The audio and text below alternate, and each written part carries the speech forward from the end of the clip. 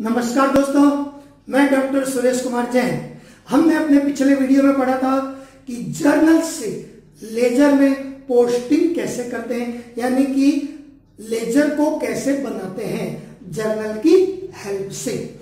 आज भी हम कुछ उसको भी बताएँगे और आज आपको बताएँगे कि लेजर को बैलेंस कैसे करते हैं और उसके बाद उसको क्लोज कैसे करते हैं। तो मैंने पहले से ही, आपका टाइम बचाने के लिए पहले से ही कुछ जर्नल एंट्रीज मैंने नोट करके रख दी थी और उसको अपन इस जर्नल को लेजर में पोस्टिंग करके और उसको बैलेंस कैसे करेंगे, वही आपको आज समझाऊँगा। तो सबसे पहले देखिए इसमें यह है कैपिटल का, बिज़नेस स्टार्ट का गुड्स परचेज सैलरी पेड और सुभाष को पेमेंट किए। और यहाँ पर देखिए, कैश, फिर यहाँ भी कैश, यहाँ भी कैश। तो सबसे पहले हम लेजर में कैश अकाउंट प्रिपेयर करते हैं, बनाते हैं। तो सबसे पहले कैश अकाउंट सभी कैश के लिए अलग अलग अकाउंट ओपन नहीं होगा, एक ही अकाउंट ओपन होगा। तो जितने भी कैश से रिलेटेड ट्रांजेक्शन है, वो सब कैश अकाउंट में रिकॉर्ड होंगे।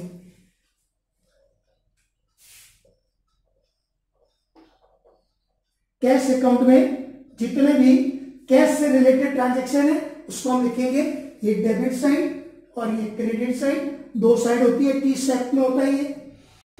इधर कोई भी एंट्री करते हैं तो टू वर्ड और इधर बाय सबसे पहले कैश अकाउंट फ़र्स्ट एंट्री देखिए first April 2016 cash account debit है।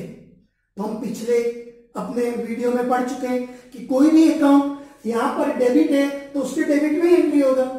लेकिन ना उसके अपोजिट वाले अकाउंट का यानी कि अपोजिट साइड वाले का यानी कि क्रेडिट वाले का। तो कैश अकाउंट डेबिट है तो कैश अकाउंट के डेबिट में आएगा क्रेडिट वाले का नाम। कभी भी डेबिट में डेबिट वाले का नाम नहीं आएगा, कभी भी नहीं। क्योंकि कैश का ट्रांजेक्शन किसके साथ हुआ है? कैपिटल के साथ। तो यहाँ पर ये देखिए टू कैपिटल यानी कि हमने लाख रुपए वन लाख रुपीस बिज़नेस में इन्वेस्ट करके बिज़नेस स्टार्ट किया है तो कैपिटल हुआ ये। अब यहाँ पर कैपिटल में अमाउंट जितना हमने कैश इन्वेस्ट किया, उतना आएगा। ये पूरा नहीं लिखना है, क्योंकि इसमें फर्नीचर का भी इंक्लूड है। तो वन लाख कैश अकाउंट के डेबिट में आ गया। क्रेडिट वाले का नाम टू कैपिटल वन लाख और जब कैपिटल अकाउंट बनाएँगे तो उसमें डेबिट वाले का नाम आएगा। अब कैश का इसके बाद फर्नीचर का तो अलग बनेगा कैपिटल का भी अकाउंट अलग बनेगा। कैश और कहा है? ये देखिए। एक कैश अकाउंट यहाँ पर इकट्ठ हो रहा है। अप्रैल 25 को कैश अकाउंट क्रेडिट हुआ है। हमने सैलरी पेड किए तो कैश अकाउंट क्रेडिट है तो कैश अकाउंट के क्रेडिट में। डेट अप्रैल 25 ये डेट था April first. April 25 cash account credit तो कैश अकाउंट क्रेडिट है तो उसके क्रेडिट नहीं आएगा। डेबिट वाले का नाम। By salary cash account credit है, इसलिए उसके क्रेडिट में लिख बाई सैलरी, और जब आप सैलरी अकाउंट बनाएँगे लेजर में तो सैलरी अकाउंट डेबिट है तो उसके डेबिट में लिख देंगे टू कैश एकदम सिंपल अमाउंट वन थाउज़ेंड फिर कैश का एक और ट्रांजेक्शन है, ये देखिए. यहाँ पर कैश अकाउंट क्रेडिट है तो फिर उसके क्रेडिट में आएगा. April twenty eight April twenty eight. Cash account credit है, उसके क्रेडिट में आएगा भाई सुभाष, क्योंकि कैश क्रेडिट है तो उसके क्रेडिट में डेबिट वाले अकाउंट का नाम। नहीं तो कैसे पता चलेगा कि हमने कैश किसको पे किया? तो सुभाष का नाम आएगा भाई सुभाष। तो कैश अकाउंट को देखकर हमको ये पता चल जाना चाहिए कि कैश हमारे पास कहाँ से आया, कहाँ गया।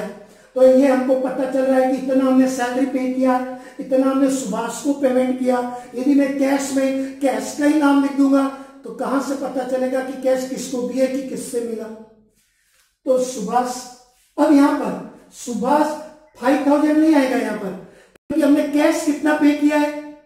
देखिए फोर थाउज़ेंड नाइन हंड्रेड तो टू कैश यहाँ पर क्रेडिट है तो उसके क्रेडिट डेबिट में by Subhash four thousand nine hundred. क्योंकि हंड्रेड रुपीज़ डिस्काउंट हो गया तो वो तो डिस्काउंट अकाउंट में जाएगा।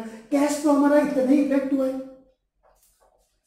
अब कैश से रिलेटेड जो ट्रांजेक्शन थे, मैंने इसमें लिख दिए पोस्टिंग कर दिए। ये हम पिछले वीडियो में भी समझे थे कि पोस्टिंग कैसे करते हैं। अब इसको बैलेंस कैसे करना है, ये मेन चीज़ है थोड़ा समझने के लिए।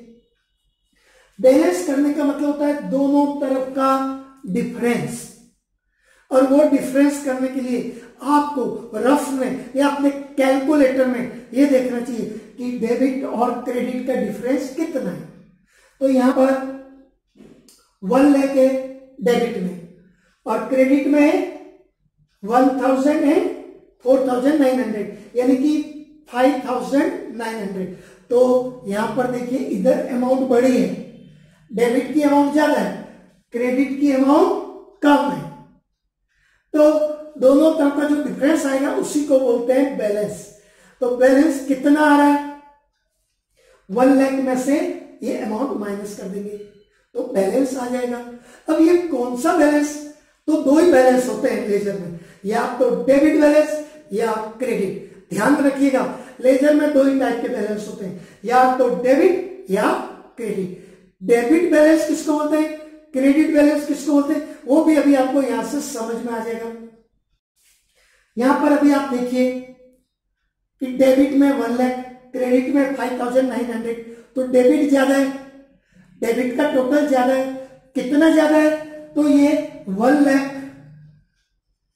वन लैख में से फाइव थाउज़ेंड नाइन हंड्रेड हम माइनस कर देंगे। यह है ninety four thousand ninety four thousand one hundred इधर का ज़्यादा है। डेबिट का अमाउंट बड़ा है। जब आप तराजू में कोई चीज़ तोलते हैं, इधर का पलड़ा ज़्यादा है तो बैलेंस करने के लिए क्या करते हैं हम? दूसरे साइड डालते हैं, तभी तो बैलेंस होगा। तो अभी हम बैलेंस कर रहे हैं। तो इधर का ज़्यादा है तो इस कैश अकाउंट को बैलेंस करना है। तो जो डिफरेंस आ रहा है वो हमको इधर लिखना पड़ेगा क्रेडिट साइड में। और क्या लिखेंगे? By balance by balance carried down C A double R I E D carried down यानी कि बैलेंस क्लोज करने के लिए कैरी डाउन करते क्योंकि यही क्लोजिंग बैलेंस वापस अगले महीने या अगले साल जब नया अकाउंट ओपन करेंगे तो यही क्लोजिंग बैलेंस अगले साल के लिए हमारा ओपनिंग बैलेंस होता है। तो ये हमारा डेबिट का ज़्यादा था तो हमने क्रेडिट में लिखा बाई बैलेंस कैरी डाउन इसको भी बैलेंस कर रहे हैं, बराबर कर रहे हैं। इधर का पलड़ा ज़्यादा है तो इधर डालना पड़ेगा, इधर का ज़्यादा है तो इधर। तो यहाँ पर कितना है ना ये balance difference ninety four thousand one hundred ninety four thousand one hundred by balance carry down और ये बैलेंस हम करेंगे तीस अप्रैल अप्रैल थर्टी ऐसा क्यों? तो अब देखिए, कोई भी बिज़नेस में कभी भी अपनी मर्ज़ी से अकाउंट का बैलेंस नहीं करता है। जनरली बैलेंस होता है at the end of the accounting year accounting year के एंड में थर्टी फ़र्स्ट मार्च को। लेकिन कई लोग हर महीने अकाउंट का बैलेंस करके देखते रहते हैं कि इस महीने किसका क्या क्या बैलेंस है। तो हर महीने भी बैलेंस करेंगे तो सबको बैलेंस कैरी डाउन करके वापस अगले महीने ब्रॉड डाउन करना पड़ेगा। कि इस महीने लिखेंगे बैलेंस कैरी डाउन बैलेंस आगे लगे, अगले महीने लिखेंगे बैलेंस ब्रॉड डाउन अब वो ब्रॉड डाउन वगैरह कैसे करते हैं, ये सब बताएँगे आपको। तो सबसे पहले हमने ये बैलेंस कैरी डाउन कर दिया। इधर ही क्यों लिखा? इधर का ज़्यादा था इधर का हमारा तराजू का बड़ा है तो उधर ही डालना पड़ेगा। तो इधर ज़्यादा था तो इधर लिख दिया हम। और अब एक मेन चीज़ कि ये डेबिट बैलेंस है कि क्रेडिट बैलेंस? तो ये कई लोग कंफ्यूज हो जाते हैं। यहाँ पर क्रेडिट में लिखें तो कई लोग बोल देते हैं कि ये क्रेडिट बैलेंस है। ये क्रेडिट बैलेंस बिल्कुल नहीं है। ये डेबिट बैलेंस है, क्योंकि ये इतना जो अमाउंट है, ये हमारा डेबिट का तो डेबिट का टोटल बड़ा है तो ये डेबिट बैलेंस होगा। ये क्रेडिट बैलेंस नहीं कहलाएगा हमने बैलेंस यानी इक्वल करने के लिए उसको इधर लिखा है ताकि इक्वल हो जाए, बराबर हो जाए क्लोज हो जाए। तो क्लोज करने के लिए इधर का ज़्यादा था तो हमने इधर लिखा बैलेंस तो ये डेबिट बैलेंस हमेशा ध्यान रखना कि डेबिट का टोटल ज़्यादा है किससे? क्रेडिट साइड से। तो हमने लिखा क्रेडिट में। बाई बैलेंस क्रेडिट लेकिन ये कौन सा बैलेंस है? डेबिट। और यदि किसी अकाउंट में इधर का टोटल ज़्यादा है और इधर का कम है तो यहाँ लिखेंगे टू बैलेंस सीडी, लेकिन वो कौन सा बैलेंस होगा? क्रेडिट बैलेंस, क्योंकि क्रेडिट का बढ़ा है। तो इधर का ज़्यादा होता है तो यहाँ लिखते हैं टू बैलेंस सीडी। और यदि इधर का ज़्यादा है तो यहाँ लिखेंगे बाई बैलेंस सीडी। क्रेडिट का ज़्यादा है तो क्रेडिट बैलेंस और डेबिट का ज़्यादा है तो डेबिट बैलेंस किसी भी लेजर का डेबिट साइड का टोटल बड़ा है debit side is more than credit side तो डेबिट का टोटल ज़्यादा है तो हमने बैलेंस करने के लिए क्रेडिट में लिखा, लेकिन वो डेबिट बैलेंस है। और यदि credit side is more than debit side यानी कि क्रेडिट बड़ा है डेबिट साइड से तो उसको बैलेंस करने के लिए यहाँ लिखना पड़ेगा। तो वो क्या कहलाएगा? क्रेडिट बैलेंस तो किसी भी अकाउंट का, या तो डेबिट या क्रेडिट दोनों एक साथ नहीं होगा। किसी भी अकाउंट में या तो डेबिट बैलेंस होता है या क्रेडिट बैलेंस कभी कभी कोई अकाउंट में दोनों साइड बराबर हो जाता है। जैसे हमने मान लो नरेंद्र से गुड्स खरीदा था और कुछ दिन बाद उसका पेमेंट भी कर दिए। तो नरेंद्र का तो अकाउंट आप बनाओगे तो, तो दोनों तरफ़ बैलेंस अपने आप इक्वल हो जाएगा। तो उसमें बैलेंस सीडी बीडी कुछ भी नहीं लिखना है। उसमें आपका डेबिट या क्रेडिट बैलेंस कुछ भी नहीं होगा वो अपने आप इक्वल हो जाएगा। क्यों? क्योंकि आपने जब गुड्स खरीदा तब आप उसको क्रेडिट किए होंगे नरेंद्र को वो गिवर है। और जब आप वापस उसको पेमेंट किए तो वो रिसीवर डेबिट कर दिए होंगे। तो आप उसका अकाउंट बनाओगे तो बराबर हो जाएगा। तो जिन अकाउंट में दोनों तरफ़ का टोटल बराबर हो जाता है उसमें कोई बैलेंस नहीं होता है। यहाँ पर भी तो है। ये देखिए, सुभाष। सुभाष यहाँ क्रेडिट है फाइव थाउज़ेंड और सुभाष यहाँ डेबिट है फाइव थाउज़ेंड जब आप सुभाष का अकाउंट बनाओगे तो वो अपना आप बराबर हो जाएगा। उसमें कोई बैलेंस ही नहीं बचेगा डेबिट या क्रेडिट तो हमने ये बैलेंस यहाँ पर लिख दिया। उसके बाद ये टोटल इक्वल कर दिया जाता है। ये टोटल इक्वल करने के लिए तो हम बैलेंस कैलकुलेट करते हैं, फिर उस बैलेंस को नेक्स्ट ईयर ले जाते हैं। अब आप देखिए, ये बिल्कुल आमने सामने होना चाहिए। ये टोटल बिल्कुल आमने सामने होना चाहिए। ऐसा नहीं, ये ऊपर कर दिए, इसको यहाँ कर दिया और उसको यहाँ कर दिया, ऐसा नहीं। बिल्कुल आमने सामने, दोनों तरफ़ टोटल इक्वल तो हमने सबसे पहले कैश अकाउंट का बैलेंस किया जो आया 94,100 और उसके बाद हमने उसको क्लोज कर दिया। और क्लोज किए तो दोनों तरफ़ का टोटल इक्वल और क्लोज करेंगे तो हमेशा इक्वल रहेगा क्योंकि डिफरेंस हमने लिख दिया है। तो इक्वल हो गया ये। तो हमेशा ध्यान रखना है कि डेबिट का टोटल ज़्यादा है तो ये क्रेडिट में लिखेंगे और इसको बोलेंगे डेबिट बैलेंस और क्रेडिट का ज़्यादा है तो डेबिट में लिखेंगे और वो क्रेडिट बैलेंस कहलाएगा। जब हम ये क्लोज कर देते हैं तो वापस इनको नेक्स्ट मंथ या नेक्स्ट ईयर ब्रॉट डाउन करते हैं बैलेंस को। तो जब हम अगले महीने वापस इस बैलेंस को लिखेंगे, तीस अप्रैल को क्लोज किए मंथ के एंड में तो वापस अगला महीना हुआ एक मई। तो एक मई को जब हम कैश अकाउंट बनाएँगे, तब इसी बैलेंस को वापस ब्रॉट डाउन लिखेंगे। लेकिन किधर? अभी हमने बताया ये कौन सा बैलेंस है? डेबिट बैलेंस है। तो वापस नेक्स्ट मंथ में जब कैश अकाउंट बनाएँगे तो डेबिट साइड ये देखिए, ये क्लोज हो गया। अप्रैल का क्लोज उसको क्लोज करने के बाद उसके आगे, ये इसके बाद first May 2016 to balance to balance brought down अब कितना लिखेंगे? इसमें भी कई लोग गलत कर देते हैं। डायरेक्ट ये टोटल को लिख देते हैं। तो टोटल को नहीं, ये जो हमने बैलेंस कैलकुलेट किया था, वो बैलेंस लिखना है।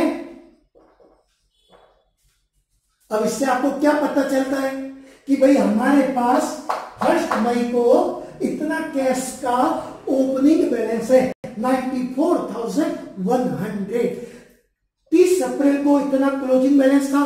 वही एक मई को ओपनिंग बैलेंस कहलाएगा और इसको क्लोज करने के बाद ये डेबिट बैलेंस था, इसलिए डेबिट में हमने उसको ब्रॉट डाउन, यानी कि पिछला बैलेंस आगे लाए। ब्रॉट डाउन यानी आगे लाना। तो ये बैलेंस को आगे लाए और लिख दिए। ऐसे ही बाकी अकाउंट में भी होता है। ऐसे ही पहले बैलेंस करते हैं, उसके बाद टोटल इक्वल कर देते हैं। अब देखिए, जब हम हर महीने बैलेंस फाइंड करना है, पता करना है तो हर महीने सभी अकाउंट में आपको ये लिखकर क्लोज करना है। चाहे इधर ज़्यादा है तो यहाँ लिखेंगे टू बैलेंस सीडी और इधर ज़्यादा है तो यहाँ लिखेंगे बाई बैलेंस सीडी यदि आप हर महीने क्लोज कर रहे हैं तो। उसके बाद आप ईयरली अकाउंट क्लोज करते हैं थर्टी फ़र्स्ट मार्च को। तब पर्सनल अकाउंट को क्लोज करने का रूल अलग है। रियल अकाउंट को क्लोज करने का रूल अलग है। और नॉमिनल अकाउंट में एक्सपेंसेस और इनकम को क्लोज करने का रूल अलग है। एक्सपेंसेस में भी दो टाइप के एक्सपेंसेस होते हैं डायरेक्ट एक्सपेंसेस इनडायरेक्ट एक्सपेंसेस तो ये क्या डायरेक्ट और इनडायरेक्ट होते हैं, उनको भी क्लोज करने का रूल अलग अलग है। का जब हम ईयर में एक बार क्लोज करते हैं, तब सबके रूल अलग अलग है। लेकिन मंथली क्लोज करोगे, हर महीने बैलेंस आपको फाइंड करना है। तब तो कोई प्रॉब्लम नहीं। सबको क्लोज करते समय बैलेंस सीडी और उस बैलेंस को वापस अगले महीने लिखते समय बैलेंस बीडी क्रेडिट में बाई बैलेंस सीडी है तो डेबिट में आएगा टू बैलेंस बीडी क्योंकि ये डेबिट बैलेंस है। और यदि इधर आपने लिखकर क्लोज किया तो इधर आएगा बाई बैलेंस बीडी तो मैं एक्सपेक्ट करता हूँ कि आपको ये बैलेंस और क्लोज करने का समझ में आया होगा। फिर भी हम अपने अगले वीडियो में आपको बताएँगे कि लेजर को जब ईयरली क्लोज करते हैं तो उसके क्लोज करने के रूल क्या है? और कुछ और आपको प्रैक्टिस हम करवा देंगे। बस मेरा आपसे यही रिक्वेस्ट है कि आप अपना ये जो नॉलेज हम आपको दे रहे हैं, इसको और आगे बढ़ाते रहिए। धन्यवाद। जय जिनेन्द्र।